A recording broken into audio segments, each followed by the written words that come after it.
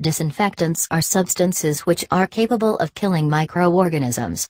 These substances are used to clean hospitals, clinics, and other medical facilities, along with bathrooms and kitchens. The goal behind the use of disinfectant is to reduce the number of microorganisms present on a surface like a counter or a floor, thereby decreasing the risk of contracting an infection.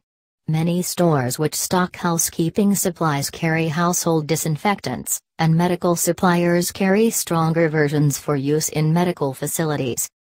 In the most cases, a disinfectant cannot completely sterilize a surface, although it can eliminate a large number of microorganisms. Products which can sterilize must be used exactly as directed, and in a very controlled environment.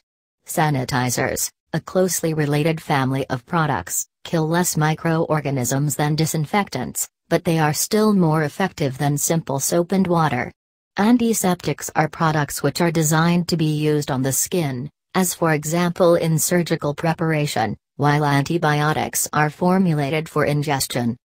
A variety of surfaces can be treated with disinfectants, including textiles, which can be washed in disinfectant solutions, along with floors, counters, and walls made from materials like wood, tile, glass, concrete, and so forth. The strength of a given disinfectant can be increased or decreased with the use of a diluting agent such as water. Some disinfectants are designed to be diluted before use. A wide variety of compounds can be used as disinfecting agents. Alcohols are quite common, as are oxidating agents like hydrogen peroxide, iodine, and bleach, along with phenolics. Many disinfectants are toxic to humans and pets, so they must be used carefully in order to avoid making someone sick, and disinfectants must also be used consistently and properly in order to be effective. Failure to follow protocol can result in leaving microorganisms behind in a clean environment which they can rapidly colonize.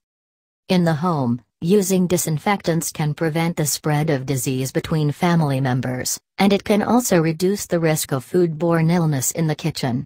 Because the pool of available microorganisms is relatively small, high-grade disinfectants are usually not necessary.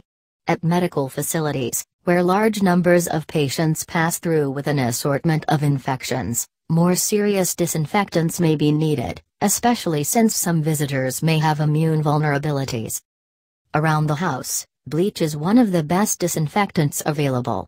It is highly effective, relatively easy to use, and safe when it is handled properly.